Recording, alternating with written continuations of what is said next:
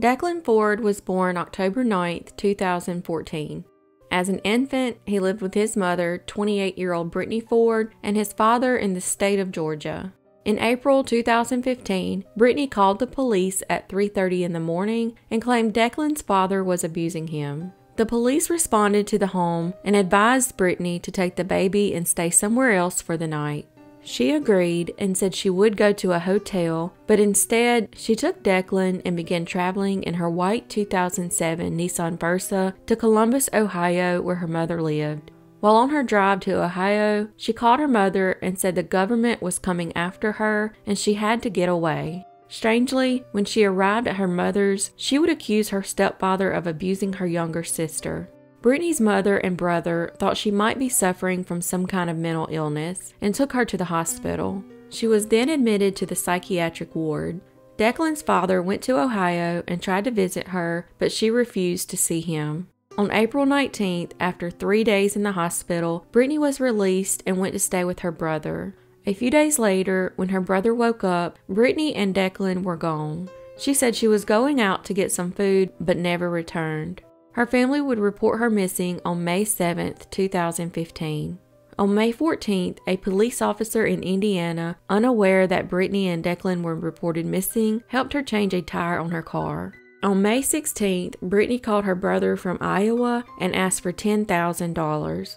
On May 17th, her car was found abandoned on the side of Highway 87 between Billings, Montana and Sheridan, Wyoming. All of her belongings, including her medication and the baby's car seat, were still inside. They were last known to be in the area of Hardin, Montana. There has been no indication of their whereabouts since her car was found abandoned, and as of today, this case remains unsolved.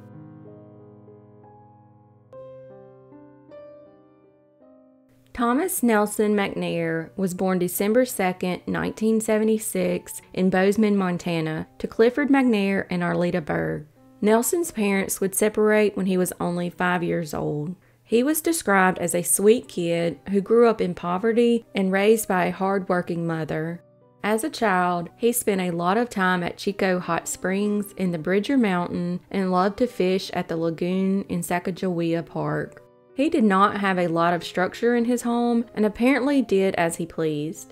He was a talented artist who was often sketching and drawing pictures. He went to Park High School in Livingston and often found trouble. When he needed space, he would wander to the overpass or under the I 90 bridge to get high or to draw in one of his notebooks. He and his friends enjoyed grunge, nirvana, mountain biking, and skateboarding. According to friends of his, in the mid 90s, if you were a skateboarder in Livingston, you were viewed as nothing more than rebellious with a dark side.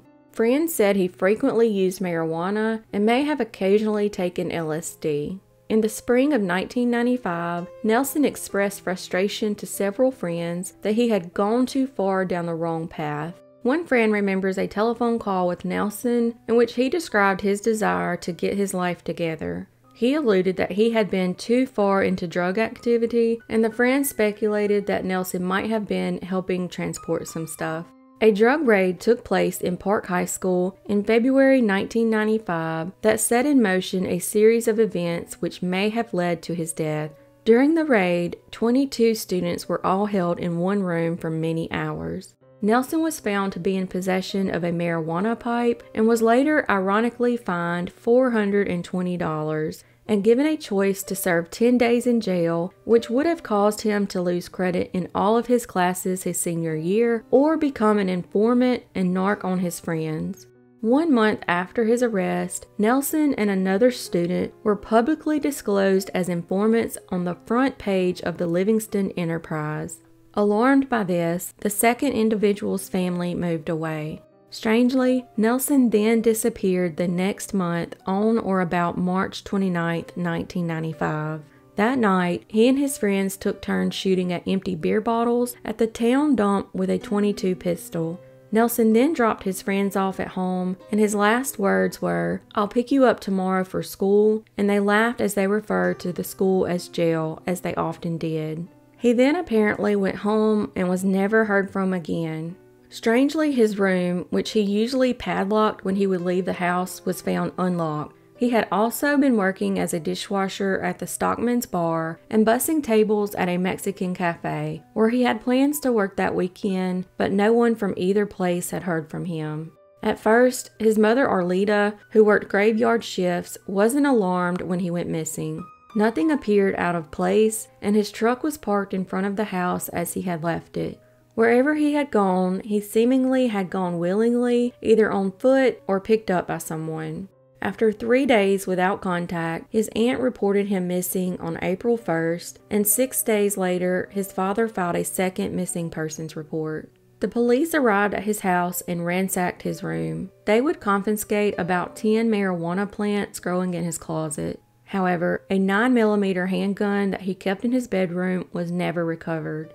Sadly, about a month later, on May 4, 1995, fishermen discovered the 18 year old's body floating in the Yellowstone River, about 14 miles east of Livingston. He was the victim of an apparent drowning. Silt from the banks of the river clogged his lungs, an indicator that perhaps he was held face down and had sucked in the particles. Coroner Al Jenkins told the media in 2002 that there was nothing on the body to indicate that Nelson had been stabbed or shot, but a body traveling in the water suffers all sorts of bruises and abrasions. It's also possible that injury may have been inflicted before he went into the water. An article published immediately following his death stated that the initial forensic tests indicate he drowned and that no foul play was involved in his death but an investigation would continue to try and determine if it was accidental, a suicide, or something else. Nelson was known to be a fantastic swimmer, and his family does not believe that he simply drowned or that he would commit suicide.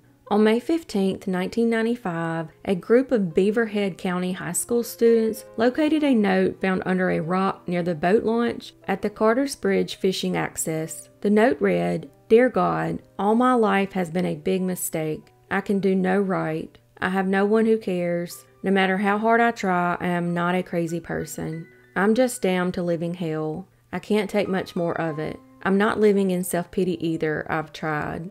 After seeing the note, his mother said, I never believed it was Nelson. He was missing for 36 days, and then it showed up neatly under a rock. First of all, it was too religious. That wasn't Nelson. Other friends and family also don't believe the note is Nelson's. Apparently, his body was cremated without consent of his parents. Coroner Jenkins affirmed this in 2019 and added that he also had nothing to do with ordering the cremation. Family and friends would scatter his ashes near Livingston Peak in late May of 1995. There was a skateboard park built and named after Nelson in Livingston, but it has since been renamed. As for matters of investigation, Coroner Jenkins says that Nelson McNair's mystery remains an open case, but as of today, it remains unsolved.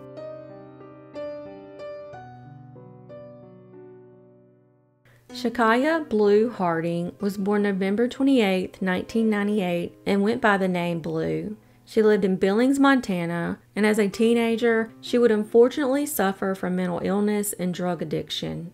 She was last seen at the age of 19 on the afternoon of July 23, 2018, walking along Buena Vista Road in Billings. The next day, Blue posted a series of Facebook posts expressing that she was upset about a failed relationship, amongst other things in her life. She posted her final post shortly before midnight, which reads, All depressing, but I'm typing it like it's everything, but relying on feelings suck. All of her social media activity ceased after that, and her family hasn't seen or heard from her again. Her family reports that they had a strained relationship with her prior to her disappearance due to her erratic behavior, but her mother feels like she is still alive. In the months leading up to her disappearance, she was reportedly living on the streets of Billings. However, she always kept in touch with her family.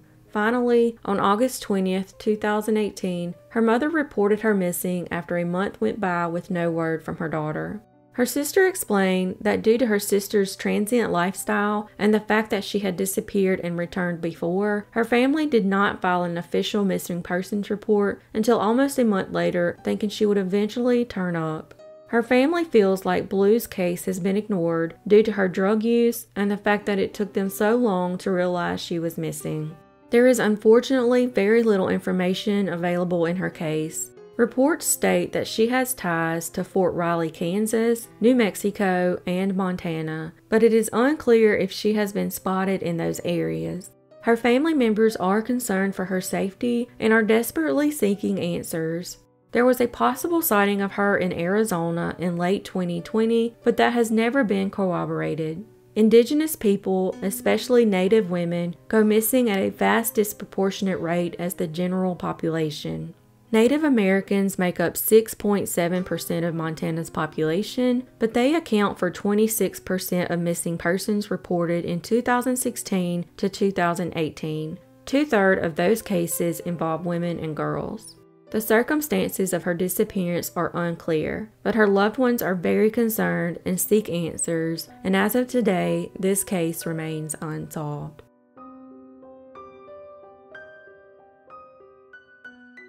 Megan Ginevicz was born in Boulder, Colorado on January 12, 1978, to William Ginevicz and Donna Smith. When she was two years old, her parents divorced, and her mother moved her and her brother Joseph to the timbered foothills in St. Ignatius, Montana, along St. Mary Road. They were living in a home in a remote wooded area with free room and board in exchange for her mother's nanny services. In the early afternoon hours of April 30th, 1980, Megan was playing with her five year old brother and another young boy in the yard while her mother was inside doing chores. She says she only looked away for less than a minute and Megan disappeared. She would last see her daughter on the side of the house near the windows on the porch. Her mother quickly began searching for her and calling the neighbors. There was only one road leading up to her house in 1980, and neighbors said that they did not see any strangers or suspicious vehicles at all that day. Search and rescue arrived on the scene at approximately 6 p.m. that night. However, it became dark and an onslaught of rain and snow made the search more difficult. The creek called Cold Creek near the home turned from a narrow stream into what was described by an investigator as a raging river.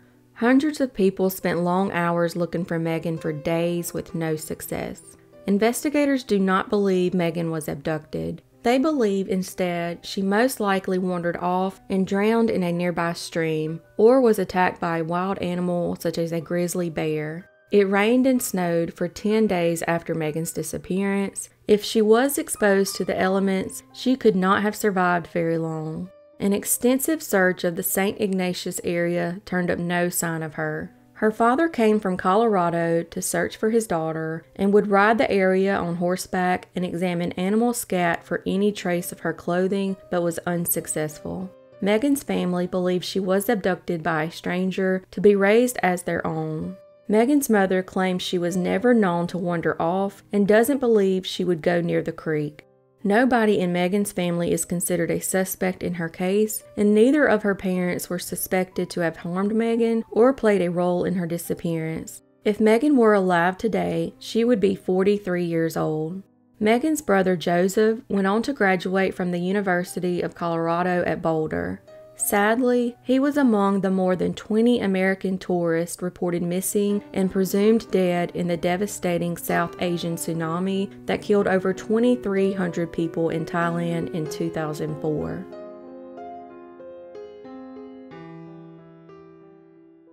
Shannon Clair LaBau was born on October 31, 1975, in Miller, South Dakota. His mother, Sally LaBau, was from California and married a man named Gerald Anderson and had five children.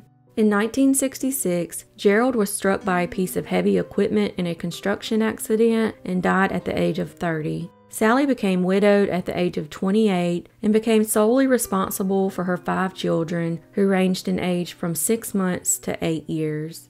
She then packed up and resettled on a friend's farm in South Dakota. There she met Val Clair LaBau, nicknamed Blondie. He was a postal carrier, and the two would have two more children Shannon in 1975 and Josh in 1977. Val Claire possessed a Jekyll and Hyde personality and was an alcoholic. He was a Vietnam vet and suffered from hallucinations and flashbacks, especially when he drank. Eventually, Sally would also work at the post office, divorce Blondie, and transfer from South Dakota to another post office in Thousand Oaks, California. Her father was there, dying of cancer, and she wanted to be nearby to take care of him. Only Sally, Shannon, and his younger brother Josh would move with her to California. The rest of Sally's older children remained in South Dakota. Sally again soon filed transfer requests and ultimately moved to Helena, Montana, where she eventually bought a small house at the 10 Mile Creek Estates. Shannon, a sophomore in high school who was very close to his mother, longed for a bond with his father, and he even once convinced Sally to allow him and Josh to move back to South Dakota to live with him. Within months, he and Josh began to resent their father because of his behavior. So Shannon and Josh would return to Helena and he would try his best to readjust to Helena High School. Shannon and Steve Rummel met while they were students at the high school. The two often lifted weights together at the gym, but Steve had a bad reputation. The more reserved and less confident Shannon would become a follower of Steve and his actions. Shannon graduated from high school in 1994, and a few years later, he met a girl named Leslie, and the couple had a baby girl, but they would never marry. The pair fought frequently, and at times their arguments were volatile. For starters, Leslie didn't like Shannon's choice of friends, particularly his association with Steve. Shannon and Steve would drink at dingy places and would get into arguments when Shannon stopped his generosity and refused to buy Steve additional drinks. Leslie and Shannon would split up, and she told him that he needed to grow up, take on more responsibility, and be more serious about accepting his role as a father. Around that time, Shannon and his own father became further estranged. When Blondie visited his newborn granddaughter, the visit did not end on a good note. Shannon began working as a cook at a busy sports bar in Helena. At one point, his ex girlfriend Leslie indicated that she was considering returning to Helena with their daughter after a period of estrangement. Shannon was last seen on February 23, 1999, between 9 and 11 a.m. in the vicinity of the 900 block of Kessler Street in downtown Helena. Security cameras recorded him at a local bank around 9 a.m., where he withdrew about $3,000 in cash from the sale of his black Chevy Nova. According to reports, Steve had told Shannon that there was an old farmer who owned a muscle car somewhere close to Townsend, a car that he might like. Steve picked up Shannon, and in his initial statement to the police, he testified that they left Helena to scope out the vehicle and on the way shoot a couple cows. In his initial statement, he told police that he and Shannon were together in the Walking Mall area at about 11 a.m. Steve told Shannon's mom that after they returned from Townsend, he dropped Shannon off in downtown Helena at about 11 a.m. Steve also told Sally that Shannon relayed a message through him to his mother that she should go lock up his mobile home and pick up his checks from work. Clearly, Shannon intended to go to Townsend and either view or purchase a car from an acquaintance of Steve's.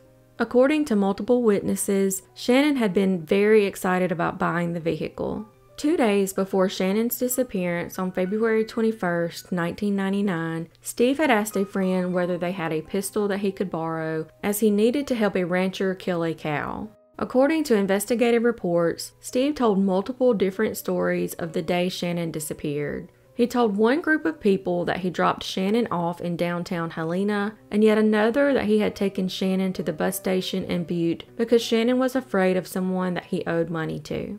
Another witness stated that Steve said that he drove clear to Billings and dumped his friend off there. Shannon's red 1976 Chevrolet truck with the Montana license plate number 5T31420 apparently disappeared with him and has never been recovered. Steve has a very extensive criminal history. His first felony conviction dates back to 1994 on a theft charge. Since then, he has had arrests for obstructing a police officer, unlawful transaction with a minor, domestic abuse, tampering with or fabricating evidence, concealed weapons violations, and numerous probation violations. According to reports, Steve often made fun of Shannon and his hair, called him a girl, and used Shannon's friendship for his own benefit. Steve also allegedly threatened to kill a woman and stated that his older brother was a high priest of Satan worshippers who had previously disposed of bodies. According to witness depositions, after Shannon vanished, Steve frequented the sports bar where Shannon worked, inquiring about the investigation. Shannon's disappearance has been treated as a homicide from the beginning. On June 8, 1999, Steve showed up at a used car lot in Helena and traded in the vehicle that he owned at the time of Shannon's disappearance an orange 1976 Chevrolet pickup truck. When the Helena police confiscated that vehicle for crime lab analysis, the truck had been cleaned and detailed within the last few days. Two days after the police returned the vehicle to the car dealer's lot, it was stolen. There was no broken glass in the lot, and it is assumed that the person who stole the vehicle had an extra set of keys. It has never been seen since. Searches have been conducted using cadaver dogs, on foot, and also by air. Authorities have searched streams and ditches, mine shafts, and dark holes, even the cement plant that once employed Steve's father. One year after Shannon's disappearance, Steve Rommel was detained on a sexual assault charge. In a federal court appearance in 2001, he was remanded to the custody of the marshals after a detention hearing where a Helena police officer testified that the only real lead in Shannon's case led to Steve. He served his time on the sexual assault charge, and as a habitual violent offender, he must register his whereabouts with the state of Montana and apparently still lives there.